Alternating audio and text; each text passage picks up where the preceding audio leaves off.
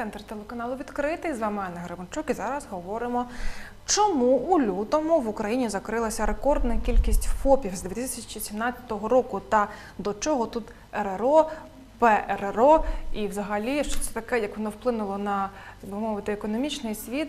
А зараз будемо про це говорити з Яною Малою, бухгалтеркою, фінансовою експерткою, е, юристкою. Я вас вітаю. Е, Ну що ж, пані Яно, Добрий е, день. по-перше, хочеться от вашу думку як експерта почути оці страшні цифри, чому так е, в лютому закрилася рекордна кількість ФОПів в порівнянні з 2017 роком. Чи це пов'язано все ж з новим законом про РРО?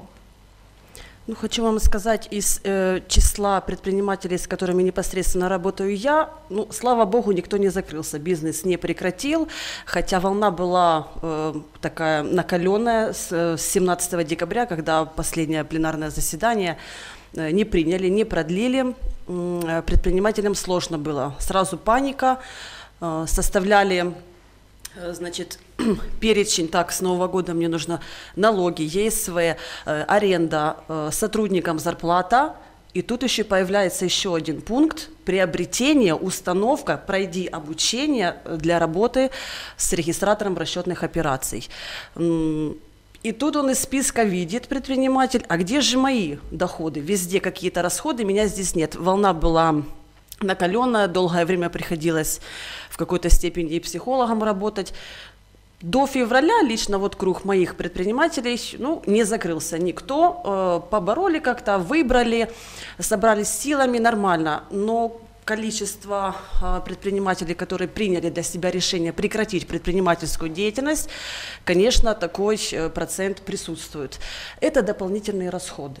Э, В первую очередь была сначала паника, как с этим работать, поскольку за каждую проведенную операцию неправильную, либо э, не, не на полную стоимость, либо вообще не проведение э, с участием расчетного регистратора, да, э, типичного кассового аппарата, 100% штраф это при первой позиции. Если у тебя будет при второй и дальнейших 150% э, штраф товара стоимости.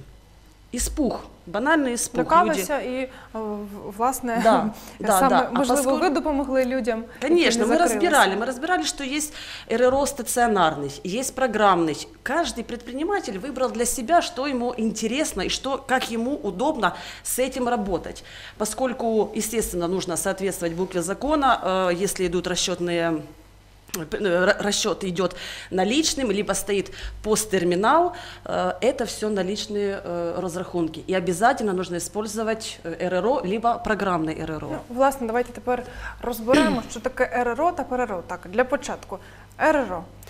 Классический РРО – это кассовый аппарат. Это э, значит, регистратор расчетных операций, функция которого состоит в выдаче фискальных чеков. ПРРО – это программный регистратор расчетных э, операций. Это э, значит, приложение, в котором э, работают смартфон, в смартфоне можно, в планшете, ноутбук, стационарный компьютер, выполняет те же функции, ту же информацию отправляет автоматически в контролирующий орган, в налоговую инспекцию. Тобто РРО, так, так би мовити, це стаціонарний такий прилад, а ПРРО це як додаток е, на будь-який пристрій електронний. Это два разных э, регистратора расчетных операций. Просто есть стационарный, кнопочный, и есть, э, значит, приложение, ты заходишь э, со смартфона, либо с планшета, ну, выбираешь как удобно, либо ноутбук у тебя на рабочем месте, либо просто компьютер, вот, банальный, обычный. Просто для каждого рода деятельности предприниматель выбирал сам себе.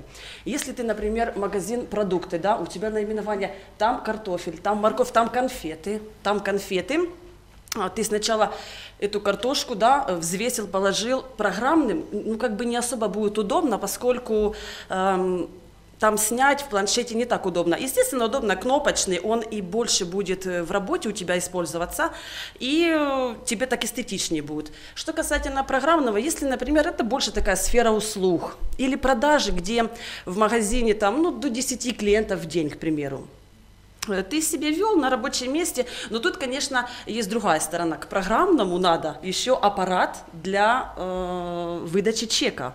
Когда, как- когда в то время классический сам выдает чек уже. Ты вбил, все, чек пошел. Поэтому тут каждый выбирал, мы, каждый, мы под каждый бизнес подстраивались и выбирали, ну, п- говорили, либо вот такой есть вариант, либо такой. Думали, мыслили, все за и против, ну и в принципе выбрали как А удобно. скажіть, е, до речі, щодо програмного РРО. А, Зараз популярно видавати е, такі, би мовити, електронні чеки посилання. Да. Тобто можна навіть не не друкувати, якщо це е, в інтернеті, так, продажі. Обязательно, да. Смотрите, там э, уже э, при подходе к категории э, способ оплаты э, мы выбираем, ну, карта либо наличный, и как э, роз, раздрукувати чек. Либо мы его друкуем в бумажном виде, либо мы его отправляем на электронную почту, либо другое приложение в системе, там, где там человек зарегистрирован, покупатель. Добре, рухаємося далі. А можете тепер, будь ласка, пояснити, в чому різниця цих е, касових апаратів від е, звичайних терміналів, через які до яких ми так би мовити картки перекладаємо, і як вони взаємодіяти мають? Угу. Посттерминал, да, вы имеете в виду, когда мы вот на точке Ну, коли приходим ми на платимо точку? так Да. банківською карткою, перекладаємо. А, РРО, либо программный РРО, Это регистратор расчетных операций. Функция какая? Э, Проходит, значит, э, вбивается наименование услуги, товара, информация уходит в налоговую, э, присваивается фискальный номер и уходит в хранилище. В то время как посттерминал – это всего лишь устройство для приема платежей. Контактный – это с карточкой обычной банковской, и бесконтактный с смартфоном, с э, НФК, получается, устройством. Все. Это разные вещи. Это способ оплаты, посттерминал, вот приватбанковский, да, в основном, там, ну, еще Ощадбанк. А это, э, это регистратор. Если у нас идет способ оплаты наличный, то у нас как бы один фискальный чек. Если у нас идет через посттерминал, и он выдает чек, и фискальный чек, получается два чека. Но как устройство это абсолютно разные. Добре, рухаємося далі. Зрозуміло, дякую. Е, Які ж е, зміни все ж давайте нагадаємо ось з- з цього року? Значит, э, в декабре э, 2020 года законом э, номер 128 э, э, была принята отсрочка до 01.01.2022 года э, при расчетных операциях наличных э, использовать регистратор расчетных операций РРО. Э, Продлили. Для некоторых категорий еще в 2021 году мы их э, уже применяли. Но все же, значит, э, с января 2022 года у нас плательщики единого налога второй, третий, четвертый групп, значит, осуществляя свою хозяйственную деятельность, обязаны э, применять при приеме значит, э, наличного расчета, либо через э, посттерминал, э, либо через терминалы самообслуживания не банковских небанковских э, установ, учреждений. И дистанционно, при дистанционной торговле с использованием реквизитов номера карты, либо расчетного счета, операции через системы LickPay, Монобанк, э, Приват24, Ощад24 и iPay. Что это значит? Это значит, если вот, к примеру, да, у меня магазин, вы ко мне пришли, приобретаете у меня товар, я вам даю э, номер карты, 16 цифр, я должна использовать РРО при, расчете с вами. Это также считается как наличный расчет. Посттерминал вы у меня рассчитываете либо смартфоном, да, э, с функцией НФК, либо э, банковской картой, либо просто наличный должна использовать РРО. Мы можем не использовать РРО, есть у нас э, значит, э, несколько вариантов, когда мы можем не использовать. Если с расчетного счета в формате IBAN э, покупатель продавцу также на расчетный счет в формате IBAN э, переводит э, средства за э, товар. Если мы через кассу банка платим, мы также не используем РРО. И через терминал самообслуживания, да, ну, по городу в магазинах, э, в установах Приватбанка, да, в основном все ними и пользуются. Если через терминал самообслуживания, ну, наличными, либо же, как там выбор тоже есть, карты можно, тут мы тоже не используем. Тобто те- тепер все ж вигідно, наприклад, е, в терміналі оплачувати. Э, В терминале, да, э, выгодно, но это если через терминал на расчетный счет. А там все одно буде Ну, есть. И, да? очень, и это была тоже большая волна, когда мы э, сидели, разбирались, объясняли предпринимателям, за голову берутся. Не-не, у нас так, ну, у нас не захотят. Дома привыкли все там, в 10 вечера посмотрел, выбрал себе что-то, да, там, и сразу же с картой оплатил. А Не с- подойдет. не Скажіть, будь подойдет, ласка, да. наскільки треба от, е, цьому всьому так ФОПам обу- о, вивчитися? Мені здається, навіть вже є от, наразі спеціальні міні-курси або ж консультації від е, експертів, адже е, самому ну, важко розібратися. Сложно. И м, вообще, в принципе, э, у нас э, наше общество э, предпринимателей, некоторые, ну, и не знают, э, и где даже это находится налоговая, как даже отчетность составлять. Не говоря уже о, такой глобально, о таком глобальном вопросе, как кассовый аппарат. Проходят и консультации, и проходят и курсы, есть всякие семинары, есть э, подпи- э, под- подписки э, в телеграм-канале, вайбер-канале, бухгалтер ЮА, ну, дебет-кредит, очень много есть информации, но она э, больше несет терминологию на законодательном уровне. А людям надо общаться, поговорить со специалистом, практиком воочию, увидеть его, на, э, на бумажечке нарисовать, как лучше сделать, и то он будет перезванивать, спрашивать, потому что боязнь, страх, большие штрафы, понимаете? Ну, тут э, просто посмотреть семинары, пройти курсы, нет. В этой надо системе постоянно находиться. Э, идут изменения, какие-то законопроекты, проголосовали, внесли изменения, это надо постоянно отслеживать. Поэтому в этом случае, у кого такой, ну, более э, расширенный бизнес, тут у них есть и консультанты, и бухгалтера, тут это очень важно. Скажіть, будь ласка, є така думка, що а, з появою так оцих об- обов'язкових РРО, ну тим, у кого маленький бізнес, що їм навіть можна там не брати бухгалтера. Чи погоджуєтеся ви з такою, з такою тезою? Вы знаете, иногда, когда вот э, слушаю, да зачем мне надо бухгалтер? Это Мне в налоговой сказали раз, раз в год сдавать декларацию и все. Так а что там, ну, я прошла обучение по установке центра сервисного обслуживания, провел мне там двухдневное обучение, я все поняла, как бы, ну, мне все нормально. Тут, не, тут все зависит от эм, качеств э, каждого предпринимателя в том плане, насколько он понимает, насколько он сам будет э, обучаться, э, э, как, как ему вообще будет сложно или не сложно. Может, кому-то просто. Я много видела предпринимателей, э, встречались в практике. Я и сам, и сам могу, я все умею. Если нет, я звоню в сервисный центр. Если я пользуюсь программным, я звоню на горячую линию. Мне, в принципе, все понятно, я не нуждаюсь. Так, так, в принципе, ну, и есть большинство. Чи можна це назвати такою великою а, фіскалізацією так в- в Україні? Такі Вы зміни? знаете, м, с принятием закона, да, Ну, обязанности? так, РРО. Ну, назвать прям э, высокий уровень э, фискализации, наверное, еще пока нет, потому что еще остались и группа первого единого налога, которая не работает э, по продаже с товарами сложно-бытового назначения, и, значит, есть еще варианты не воспользоваться РРО, и, наверное, по- пока еще есть эти возможности, назвать это не глобально, даже а большой, еще рано. Это определенный этап, э, который, скорее всего, э, в дальнейшем приведет к чему-то. Многие развитые страны уже забыли, что такое неучтенный наличный оборот. Да, мы ездим, отдыхаем, все прекрасно знают, даже стакан семечек или шаурму уже во многих странах продают с э, использованием РРО.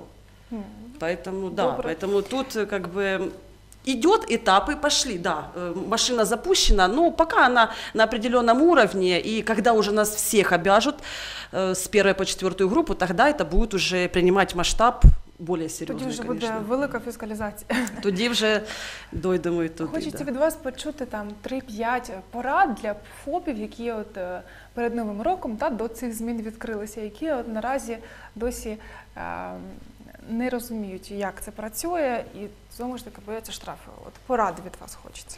Ну, этим предпринимателям сейчас немножко будет легче, поскольку те, которые зарегистрированы ранее, им пришлось э, формат менять работы, а э, исправлять или вначале изначально идти э, как бы вот зная эти все нюансы, намного сложнее. М, Те ребята, которые там э, регистрируют бизнес, сейчас вот регистрируем, они изначально э, знают, они уведомлены о том, что при расчетных операциях, наличных, посттерминалах, на карту, надо использовать э, РРО или программное РРО. Поэтому они уже могут сразу рассчитать свои, э, свою расходную часть и понять, насколько, насколько им будет э, выгодно и насколько им понадобится в дальнейшем бухгалтер, бухгалтерские какие-то услуги, специалист, юрист, там, ну, кто, как, э, кто кого, в принципе, э, в свою команду возьмет.